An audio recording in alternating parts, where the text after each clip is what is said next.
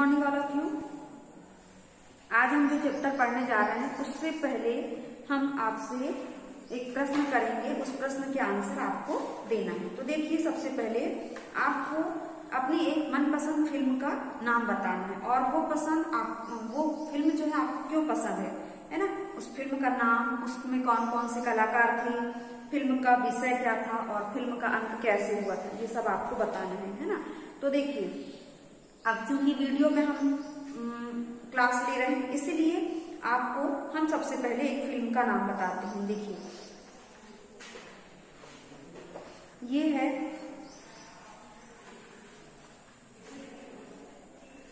सबसे पहली फ़िल्म है उन्नीस सौ पचास से सत्तर तक, है ना? मदर इंडिया ठीक है, ये मदर इंडिया एक फ़िल्म का नाम है। और ये क्या थी? उन्नीस सौ संतावन में ये बनी तो ये हमने बताया पचास से सत्तर के बीच की, ये उन्नीस सौ संतावन अब देखिए, फ़िल्मों का विषय क्या था? ये कैसी फ़िल्म थी? एक महिला एक महिला के साहस की, साहस व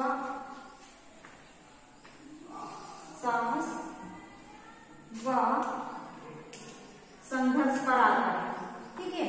अब ये इसमें फ़िल्मों के कलाकार नरगिस सुनील दत्त, है ना? फिर से इसी में एक देखिए 1960 में मुगल ए आज़म, प्रेम पर आधारित थी। इसमें दिलीप कुमार और मधुबाला थे, है ना? अब 1971 से 1990 के बीच में। 1971 से 90 के बीच में, है ना? तो देखिए इसमें सबसे पहले 1975 में एक्शन पर आधारित 1975 मतलब 1975 एक्शन पर आधारित, अमिताभ की कौन सी फ़िल्म थी? सोली, है ना? अमिताभ बच्चन, धर्मेंद्र, जया बच्चन, हेमा मालिनी, ठीक है? अब देखिए, सत्यम शिवम सुंदरम, एक फ़िल्म का नाम है 1978 मतलब 1978 में ये फ़िल्म बनी थी। ये सच्चे सौंदर्य पर आधारित है है ना? इसमें शशि कपूर और जीनत अमान है है ना? अब उसके बाद देखिए उन्नीस सौ इक्यानवे थर्ड है उन्नीस सौ इक्यानवे से 2005 है ना? इस, ये फ़िल्म ये इस समय की फ़िल्म जो है आप लोग जानते होंगे। सबसे पहले थी इसमें चमत्कार, उन्नीस सौ बयानवे में। है ना? ये जादुई चमत्कार पर आधारित है।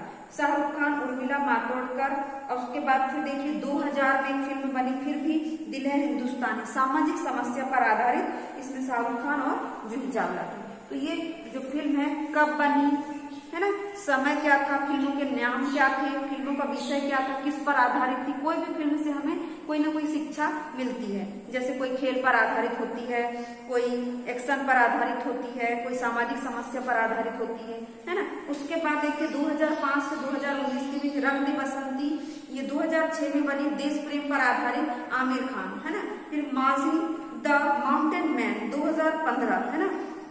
2015 सामाजिक समस्या व असंभव काम को संभव बनाने वाले कार्य पर आधारित। है ना? नवाजुद्दीन सिद्दीकी, राधिका आप्टे इसके कलाकार हैं। अब देखिए, हम फ़िल्म क्यों देखते हैं? मनोरंजन के लिए या बोलते पसंदीदा कलाकार के लिए, है ना?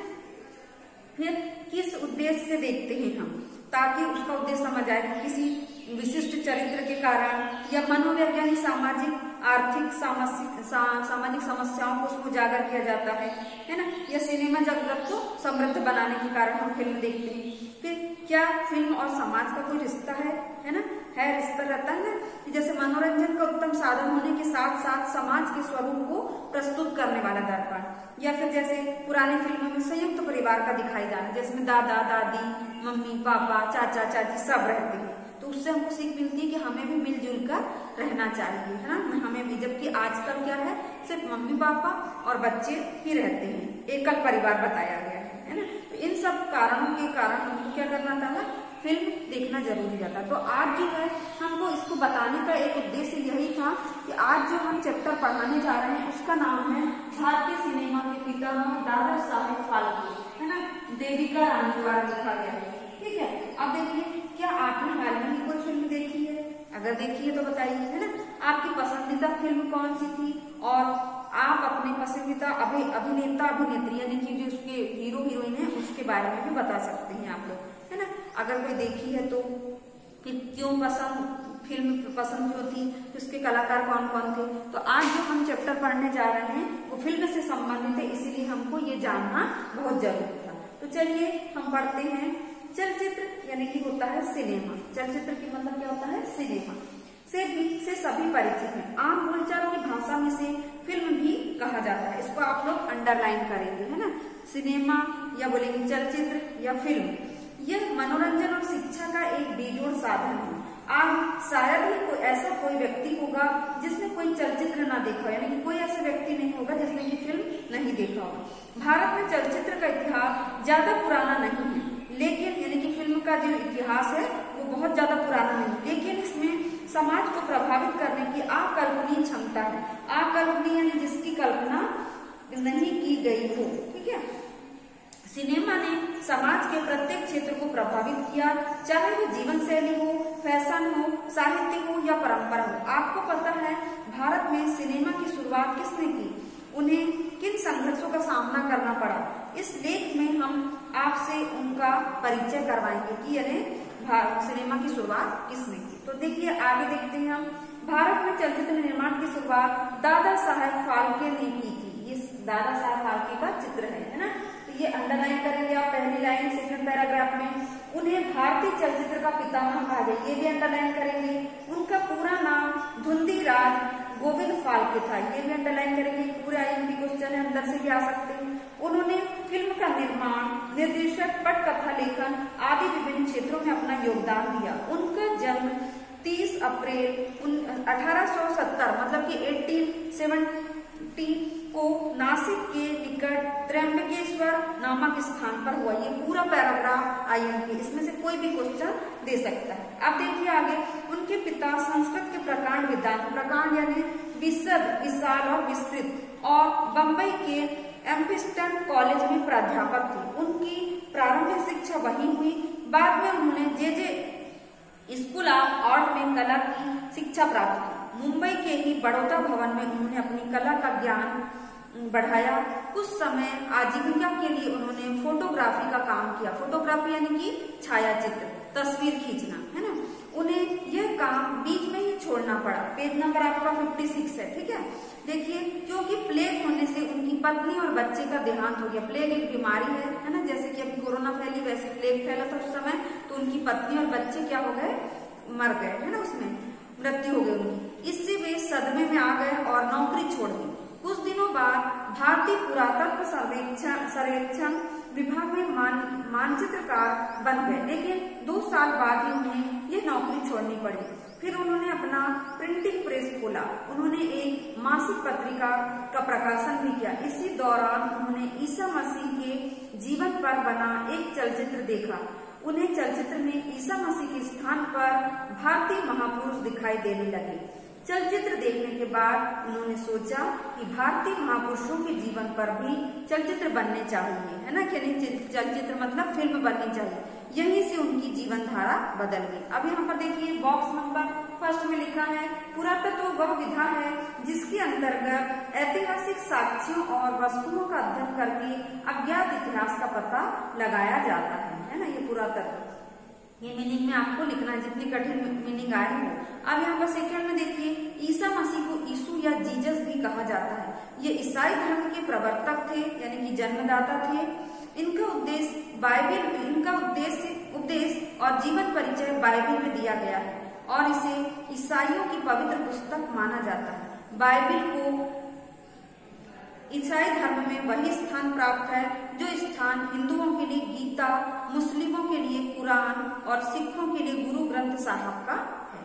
अब देखिए अगला पैराग्राफ। वे चलचित्र निर्माण का तकनीकी ज्ञान प्राप्त करने के लिए लंदन गए, है ना? वहाँ उनकी मुलाकात जाने माने फ़िल्म निर्माता और बाइस्कोप पत्रिका के संपादक है ना? से हुई हेपवर्थ ने लंदन में उनको फ़िल्म निर्माण के उपकरण खरीदने में मार्गदर्शन किया और यथासंभव मदद की। वहाँ 1912 में वापस आकर उन्होंने अपनी फ़िल्म कंपनी फाल्के फ़िल्म की स्थापना की। दादा साहब फाल्के ने सबसे पहले राजा हरिश्चंद्र फ़िल्म बनाई, है ना? अब देखिए, ये थर्ड वाला जो पैराग्राफ है थर्ड बॉक्स है जो है ना? येलो वाला, उसमें देखिए, राजा हरिश्चंद्र को सत्यवादी कहा जाता है। वे जो कह देते थे, उसका पालन अवश्य करते थे। महात्मा गांधी पर भी इनके जीवन का गहरा असर प्रभाव पड़ा। आप इनकी जीवनी अवश्य पढ़िए। इसके लिए आप इंटरनेट या पुस्तकालय की सहायता भी ले सकते हैं। या तो इंटरनेट से पढ़ सकते हैं या पुस्तकालय से। अब देखिए, ये मूक फ़िल्म, मूक मतलब गूँगी, जो बोल नहीं सकते, है ना? और देश की पहली फ़िल्म फीचर फ़िल्म थी। इस पर उस समय कुल पंद्रह हज़ार रुपए खर्च हुए थे, है ना? और अब तो पंद्रह पंद्रह लाख पंद्रह पंद्रह करोड़ की भी बनती है ना? जो एक बड़ी रकम थी। इसका प्रदर्शन 3 मई 1913 को बम्बई के कोरोनेशन थिएटर में हुआ। थिएटर मतलब कि जो जहाँ पर फ़िल्म देखी जाती है। उन्होंने सिनेमा घर बोलते हैं जिसको हॉल, है ना? उन्होंने 20 वर्षों में कुल 95 यानी कि पंचानवे फ़िल्म और 26 लघु लघु मतलब छोटी फ़िल्म 26 लघु फ़िल्म बनाई। उनकी फ़िल्म भस्मासुर मोहिनी में पहली बार महिलाओं ने महिलाओं ने महिलाओं की भूमिका निभाई है ना? ये भस्मासुर जो मोहिनी है उसमें। उन, उन कलाकारों के नाम कमला गोखले और दुर्गा गोखले था। ये भी अंडरलाइन करेंगे आप। दोनों माँ बेटी थी और नाटक कंपनी में काम करती थी। अगला पैराग्राफ देखिए। दादा साहब फाल्के की सफलता से कुछ व्यवसायी व्यवसायी यानी बिजनेसमैन इस उद्देश्य की तरफ़ आकृष्ट हुए। उन्होंने 1917 में उनके साथ मिलकर हिंदुस्तान सिनेमा कंपनी बनाई। दादा साहब ने लगभग 125 फ़िल्मों का निर्माण किया, यानी कि 125 फ़िल्म बनाई। उनकी अंतिम फ़िल्म सेतु बंधन थी, जो 1932 में, यानी कि 1932 में प्रदर्शित थी, हुई थी। उन्होंने एकमात्र बोलती फ़िल्म गंगा अवतरण बताई यानी कि पहले, पहले मतलब मूक फ़िल्म बनाई जाती थी जिसमें बोला नहीं जाता था सिर्फ़ चित्र दिखाए जाते थे। उसके बाद बोलती फ़िल्म बनाई उसका नाम था गंगा अवतरण। आगे का पैराग्राफ देखिए दादा साहब फाल्के ने चलचित्रों में विशेष प्रभाव स्पेशल इफ़ेक्ट का रचनात्मक प्रयोग किया। यह एक क्रांतिकारी पहल थी इससे चलचित्र ज़्यादा आकर्षक बनने लगे। मतलब कि फ़िल्म अच्छी आकर्षक दिखाई देने लगी। अपने 25 वर्षों के यादगार सफ़र में उन्होंने हरिश्चंद्र, सत्यवान सावित्री, लंका दहन श्री कृष्ण जन्म कालिया मर्दन कंसवध, शकुंतला, संत तुकाराम और भक्त सुदामा सहित अनेक यादगार फ़िल्में बनाई। यहाँ यह बात जानना दिलचस्प है कि जब दादा साहेब फाल्के ने भारत की पहली फीचर फ़िल्म बनाने की तैयारी की तो फ़िल्म की नायिका उनके लिए एक गंभीर समस्या बन गई। उनकी इच्छा थी कि उनकी फ़िल्म हरिश्चंद्र में तारामती की भूमिका कोई महिला की करे। तारामती राजा हरिश्चंद्र की कौन थी? पत्नी थी। इसके लिए उन्होंने नाटक मंडली से जुड़ी कई अभिनेत्रियों से बात की, लेकिन आश्चर्य की बात यह रही कि कोई भी अभिनेत्री इसके लिए तैयार नहीं थी। यहाँ तक कि उन्होंने अभिनेत्री की खोज के लिए विज्ञापन भी बंटवाए, लेकिन कोई लाभ नहीं हुआ। हार कर उन्होंने फैसला किया कि तारामती की भूमिका किसी पुरुष से ही कराई जाए। आगे पैराग्राफ देखिए लास्ट वाला। इसी दौरान तभी उन्हें एक ईरानी रेस्टोरेंट में रसोईया नज़र आया। उन्होंने उससे बात की। काफ़ी समझाने के बाद वो तैयार हो गया, लेकिन दादा की मुश्किलें अभी खत्म नहीं हुई थी। उन्होंने रसोइयों से कहा, कल से शूटिंग करेंगे। शूटिंग मतलब फिल्मांकन या छाया चित्रण तो तुम अपनी मूछे साफ़ करा, कराकर आना दादा की बात सुनकर रसोईया चौक गया। उसने जवाब दिया मूछे कैसे साफ़ कर सकता हूँ? मुझे तो मर्द मराठा किसान है।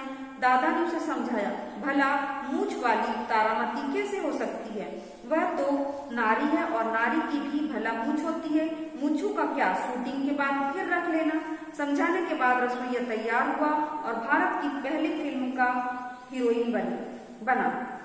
उसका नाम था सालुंकी है ना, ये भी अंडरलाइन करेंगे आप। उसके बाद देखिए लास्ट पैराग्राफ भारतीय सिनेमा में फाल्के के अभूतपूर्व योगदान को देखते हुए भारत सरकार ने फाल्के शताब्दी उन्नीस में दादा साहब फाल्के सम्मान आरंभ किया। यह सिनेमा के क्षेत्र में उल्लेखनीय योगदान के लिए सूचना और प्रसारण मंत्रालय द्वारा प्रतिवर्ष दिया जाता है। यह भारतीय सिनेमा जगत में सबसे प्रतिष्ठित पुरस्कार माना जाता है। इस पुरस्कार के तहत दो लाख रुपए की राशि और स्वर्ण कमल दिया जाता है।